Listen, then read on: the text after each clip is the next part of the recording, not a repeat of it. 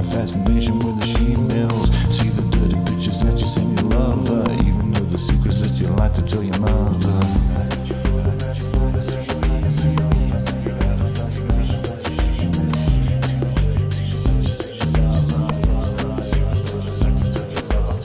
I know the things you like to watch on television, follow you everywhere, facial recognition.